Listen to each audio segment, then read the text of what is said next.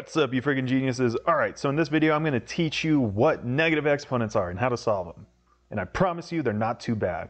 Okay, so if I had a positive exponent, that's easy enough, right? So if I had 2 cubed, this is equal to 1 times times 2 times 2, right? And what does that equal to? Well, 1 times 2 is 2, 2 times 2 is 4, 4 times 2 is 8, okay? What if I had 2 to the negative 3? Well, when we have a positive exponent, that means multiply, right? When we have a negative exponent, that means divide. So I'm going to do the same thing. So here, instead of multiplying by 2, I'm going to divide by 2 three times. 2. Okay, but there's an easier way of writing this also, because dividing by 2, that's the same thing as multiplying by 1 half.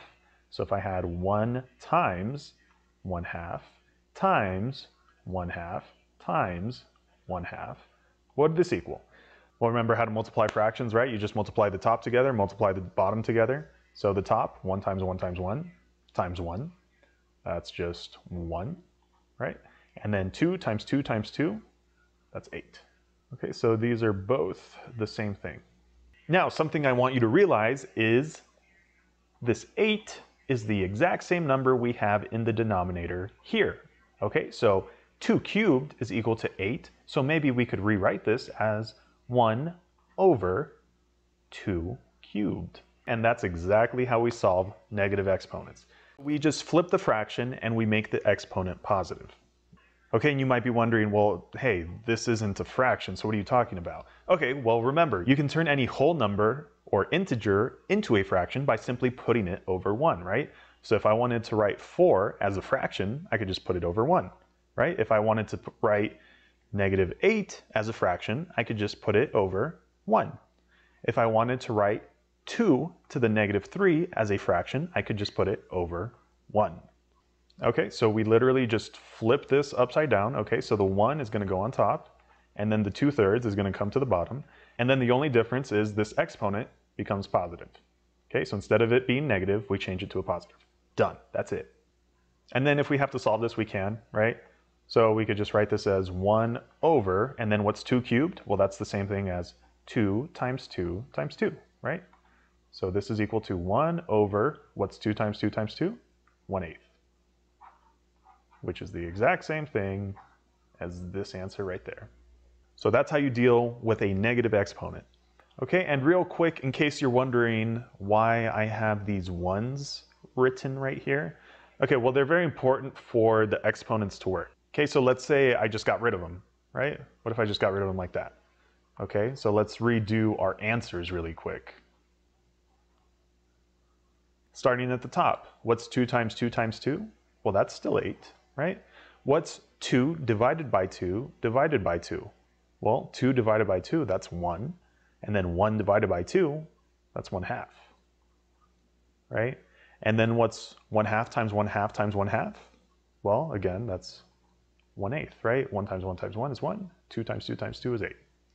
As you can see, these do not match up, but they're supposed to according to the proof, which is why we have to add this 1 at the very beginning. And then that makes all the math work out evenly again. So the 1 is kind of just hiding there. And another way you know the 1 is hiding there is 2 squared, that's equal to 1 times 2 times 2, right? If I had 2 to the first power, that's equal to 1 times 2. If I had 2 raised to the 0 power, well, that's just equal to 1, right? Because any number raised to the 0 power is just equal to 1. Okay, so that's your quick little introduction and proof into how these negative exponents work. But again, this is the main point. So remember, you can write any number as a fraction, just put it over one, and then we're just gonna flip these and you're gonna make this positive. Done. That's, that's it. So that's a quick and easy way of doing it, but we're gonna do some more complicated examples. But they're still gonna follow the same thought process. Okay, so again, if I had two to the negative three, I could flip it because this is theoretically over a one, right? So I could flip this, so I could write it as one over two to the positive 3. And like we saw, this would just be 1 over 2 times 2 times 2, which is 1 eighth, right? Now, what if I had 1 over 2 to the negative 3? Hmm. Okay, well, this time the negative exponent is in the denominator, right? So again, we're going to do the exact same thing. We're going to flip this, and we're going to make the exponent positive, okay? So this 2 to the negative 3, we're going to throw it to the top. But again, we're going to turn that positive. So that's 2 to the positive 3, and then we're going to put that over 1, which is simply equal to 2 cubed. And what's 2 cubed equal to? Well, that's just 2 times 2 times 2, which is equal to 8. So it's very important to realize that these negative exponents, they work both ways. Okay, so if they start in the top like here, you can move them to the bottom and turn them positive.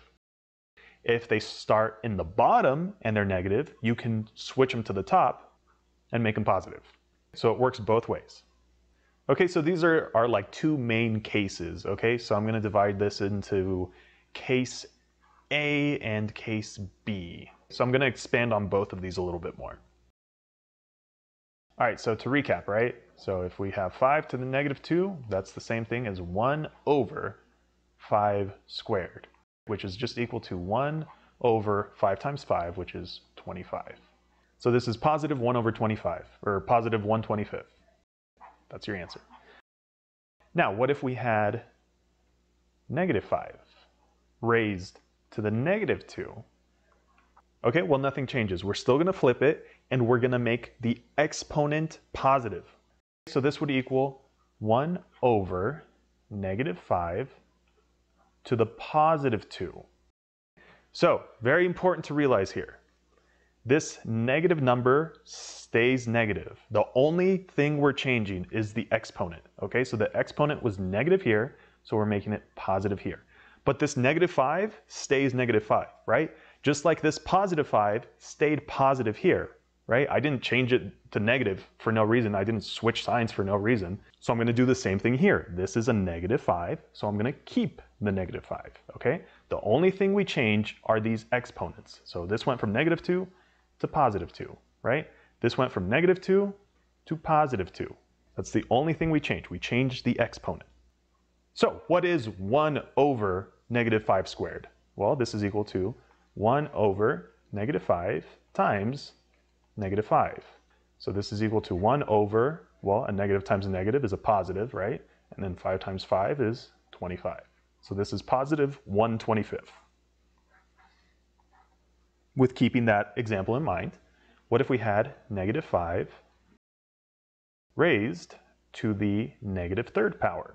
Well, this would equal 1 over negative 5, right? We keep it the same, but the exponent we change. So we had negative 3 here, so now it's going to be positive 3. So this is 1 over negative 5 times negative 5 times negative 5. Okay, so what's negative 5 times negative 5? Well, that's positive 25, right? So what's positive 25 times negative 5? Well, a positive times a negative is a negative, right? And then 25 times 5 is 125. Okay, and that goes under 1. So your answer here is negative 1 over 125. So again, we kept the negative 5 the same. The only thing we changed was the exponent. Okay, we changed it from negative 3 to positive 3. So we're going to do a couple other quick examples and then we're going to move on to case B. And then I think you're going to be golden pony boy. Okay, so where are we going here? We're going here. Okay, we're going here. All right, so if you have negative 5 raised to the negative 1, well, already I know my answer is going to be negative. Why? Because I have a negative base and I have an odd exponent, right? So that means my, my final answer is going to be negative. So remember, this is technically over 1, so we're just going to flip it and make the exponent positive, right? So we're going to flip it. So we have negative 5, and we're going to make the exponent positive. Okay? So any number raised to the first power is just itself. So negative 5 raised to the first power is just negative 5. So our final answer is 1 over negative 5, or negative 1 And what did we say in the beginning? Our answer is going to be negative because we have an odd exponent with a negative base, right? Was it negative? Sure was. Okay, and this example is going to be in case you have a mean teacher, because I know some of you have a mean teacher. I've had mean teachers. So I'm going to be mean really quick and give you negative 5 raised to the negative 0. What is that? Okay, well, this is simply 1. Well, remember, 0 isn't actually positive or negative, right? So if I wrote negative 5 to the 0, well, it's not like I put a positive sign here, right? Because it's not positive and it's not negative, it's just 0. So remember, any number raised to the 0 power is just 1. And one more for good measure, if I had 0 raised to the negative 3, well remember all these integers are just technically over 1, right? So we're just going to flip it and then make the exponent positive. So 1 over 0 cubed. So this is just equal to 1 over 0 times 0 times 0, which is just equal to 1 over 0. What's 1 over 0? Well, that, ladies and gentlemen, is what we call, in the biz, undefined. Why is this undefined? Because you can't divide by zero. Okay? So since you can't divide by zero, this is simply undefined. Okay, so that was case A. Now let's move on to case B. Okay, so for case B, we're going to have the negative exponent starting in the denominator. Okay? So again, what do you do in this case? Well, it's pretty much the same thing as case A. All you're going to do is flip these, okay? And you're going to make this exponent right here positive. Okay, so let's flip it. So we're going to have 5 over positive 2, right? Positive 2 over 1. This simply reduces down to 5 squared, and 5 times 5 is 25. There's your answer. Okay, so what if I had 1 over negative 2 raised to the negative 2? Okay, well remember, we're going to keep the base, right? We're going to flip this fraction, but we're going to keep this base. So it's going to be negative 2 raised. So instead of negative 2, we're going to have positive 2. We're going to put that over 1. Okay, so in the numerator, we just have negative 2 times negative 2. And then a negative times a negative is just a positive, right? So then 2 times 2 is 4. And then we have this 1 right here. And then 4 divided by 1 is just positive 4. Okay, and remember our little rule from earlier when we're talking about negative bases, right? So if we have an even exponent, our answer is going to be positive, right? So right off the bat, I know my answer is going to be positive. So that's a good way to check your final answer if, if it looks funky for some reason. Okay, so what if I had 1 over negative 2 raised to the negative 3? Okay, so we're going to flip this again, right? So we're going to have negative 2 raised to the positive 3 right? I'm going to put that over 1. Okay, so that's equal to, I'll just write it out real quick, negative 2 times negative 2 times negative 2, right? All over 1. Negative 2 times negative 2 is positive 4. Positive 4 times negative 2 is negative 8 over 1. So your final answer is simply negative 8. Alright guys, so that's how you deal with negative exponents.